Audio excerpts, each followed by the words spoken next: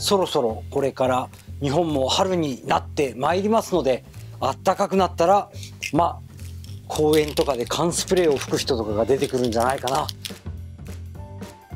はいこんにちは。三宅模型3代目店主三宅和明と申します。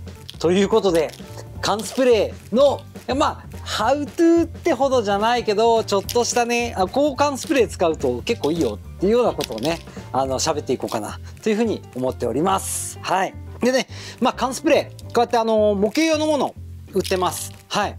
あのー、ホームセンターとかでもいろいろ売ってるんですけれども、まあ、あのー、中身がね、結構違ったりとか、本当のラッカーとかの缶スプレーをプラモデルに吹いてしまうと溶けてしまったりしますので、まあ、ホームセンターではいろんな種類あってプラモデルに塗れるようなものもあるんですけれども、知識の、あのー、ある方はそこで選んでもいいかもしれないけど、そうじゃない方は、まあ、模型用という風になってる缶スプレー使われたらいいと思います。で、ちょっとごめんなさい。今手元に持ってきてるのね、PS ってやつなんで、これポリカーボネードってラジコンのボディのやつなんだけどあのこれもね模型屋さんでもラジコンのボディ用とプラモデル用とありますので買うとき気をつけてください。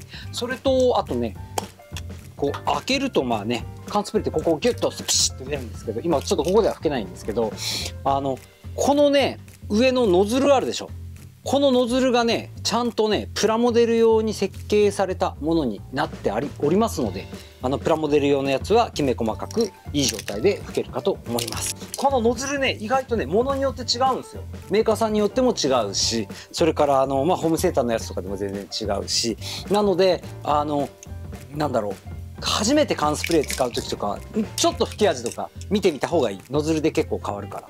それと吹く前にとにかくよく振ってください。中にねこう玉が入っててカラカラカラってねあの振るんですけれどもこれをねしつこいぐらい振ってください。はい。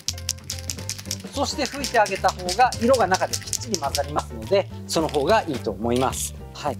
それとあとですねガスが入ってて揮発しながら塗料を押しますのでガスが気化する時に熱気化熱っていうのでねどんどん持ってきまして缶がねあの冷たくなってくるんですよ吹いてると。で連続で吹き続けるとすごい缶が冷たくなってしまって吹き圧が下がってその結果あのー、なんだろうえっと、目が荒くなってしまったりとかがあるので、まあ、ある程度、あのー、冷たくなったら一回休んでそれから冬場使う場合だとなんだストーブの前とか置いたらダメですよ。あのある程度室温ぐらいまで温めてから使った方がいいかなというふうには思います。はい。吹き方ですね。例えばこれでいいか。サンプルが今ごめんなさい。これレンズキャップだけどね、まあ、こういうのに吹こうと思った時にこう手に取ってブワーって吹くと、まあ、手丸ごと塗るよね。なのでこういうね竹串みたいのをどっか裏の見えないところに刺してよっ。でこうやって持って縫ったりとかあと、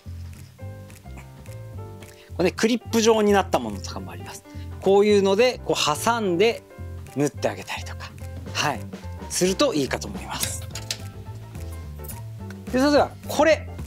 こんな形の、まあ、ラジコン、あのー、車のボディとかねそういうようなのを塗ろうと思った時に挟むとこもねえやって時はペットボトル。ペットボトルの上に両面テープとかつけといてミッてくっつけてはい。そしてこうやって塗ってあげればいいと思います。はい。でその塗る時のポイント。でまずよく振ったので塗り始める。で塗り始める時に塗るものに直接ベッって押してしまうと一番最初ってねこれもちょっとここで色固まってっけどあのこの先っぽのところにねちょっと物がついてたりとかあと吹き出しの時ってねやっぱりちょっと汚いんですよ。ブブって一瞬汚いんでなのでその本体にかからないかからないところこっから吹いてブーッと塗るんです。はい。そうすることで結構綺麗に塗れるかと思います。で、えー、と塗る時に薄いからあのであとね手のスピードだったりで調整するんですけどこういう風に塗ったらダメ。一番止まってる状態からスピードが上がって抜けます。で折り返す時にはまた止まってから戻ります。でこうするだけで実はね真ん中のとこはトップスピードで抜けてるんですよ。右も左も。ところが両端ってね止まってるわけですから。塗料の突出量が多くて真ん中ら辺薄くなっちゃう。でそれをねこうちゃん調整できる人はいいかもしれないけどあのスプレーってね切る時も汚くなるんです。だからここで出してふっと抜いてここで切る。それを繰り返す。シュッシュッシュッっていう感じ。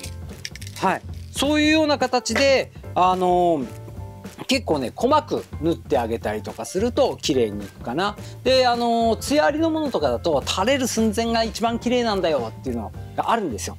あるんだけどそれをね初っ端からやるのはなかなかリスクが高い。垂れた後の修正が結構大変なので。はい。でそういう場合だと今のシュッシュッっていう吹き方早くすると砂目になるのであのある程度ゆっくりにするにしてもグッグッと押さえる感じでこう自分の中でねグッグッっていう感じでやっていけばいいと。でそれで濡らさってないとかこん今度下からグッてやると今度こことここはさっきトップから塗ってるからここが熱くなりますよね。じゃあ次はこっちの上からそこを避けちょっとさっき熱くなったところを避けるようにしてグッて押さえるそういうようなことのこう繰り返しで見ながらねはいそれがあのーなんだろう早い人とかになるとパッパッパッパッってもうくるくるくるくる回しながらスプレーを吹いていくような方もいらっしゃいますね。初心者の罠ってありますね。初心者の罠。あーまあいろいろあるけどうんうん。だって多分それ今日話聞いてなかったらもうシャーあうんうん。ってやる。そうするとこの面だけがしかも濃くなっていくので他の面からここにかぶる時もあるでしょ。ここピッカピカになってこっちからやった時にねうん。垂れちゃうので一面だけを仕上げていくっていうよりは細く細く全面を少しずつ濃くしていくっていう方がやりやすいかなと。はいもう一本缶スプレー用意いたしました。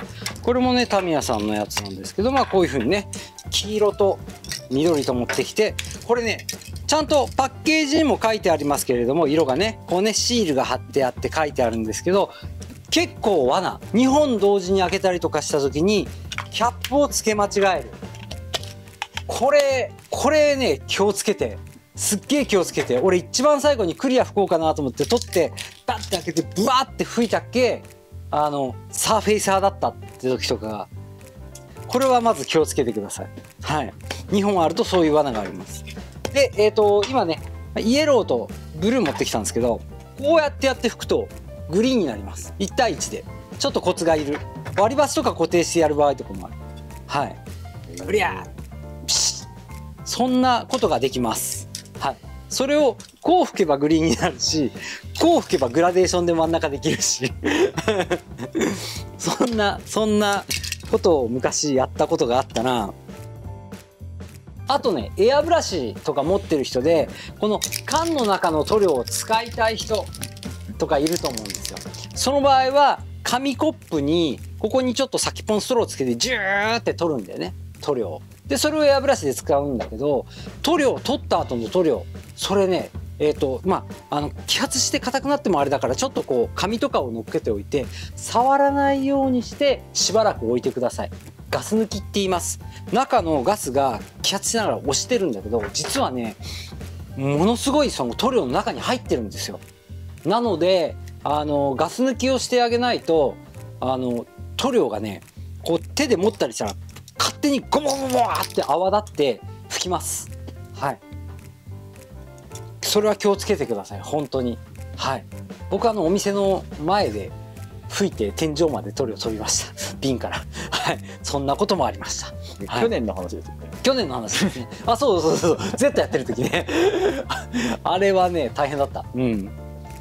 お客さんにね「いやこれガスが入っててこうやってねプクプクなるでしょ」って手で温めててお客さんにプクプクなるとこを見せようと思ったらっけ？思いのほかガスが出てプワあーっていう。一瓶でこんなに吹くんだみたいなことになりましたね。はい。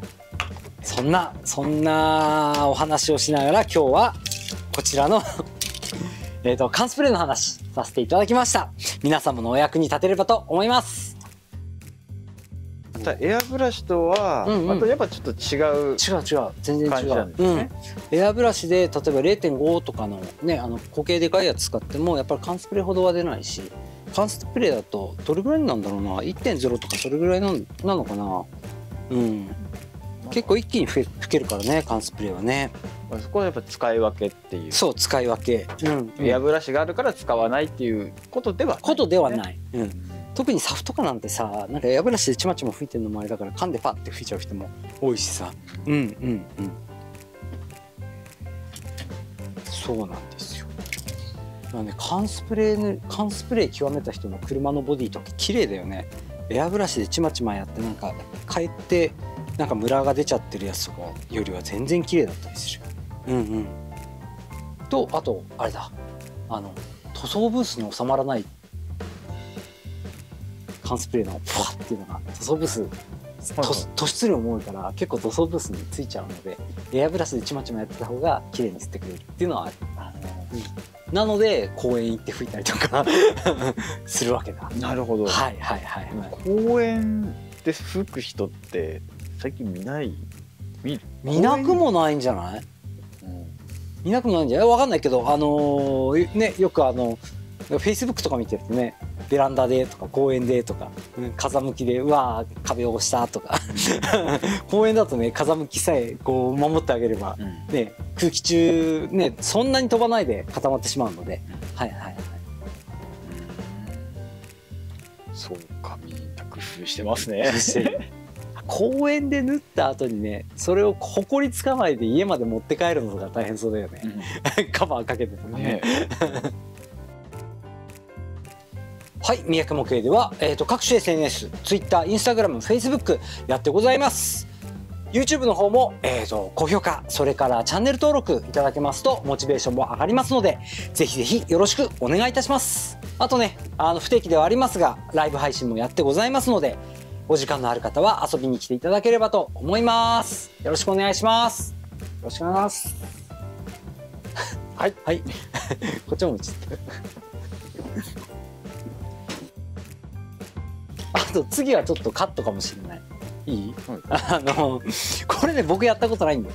お客さんが開けて開けて先っぽ取って片方冷蔵庫に入れるんですよ。